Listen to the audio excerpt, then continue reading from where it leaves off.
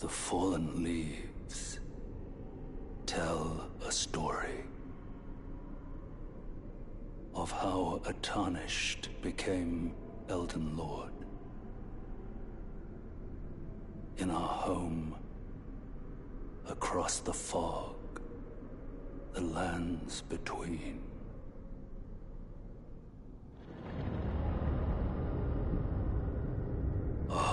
seed will look back upon us and recall.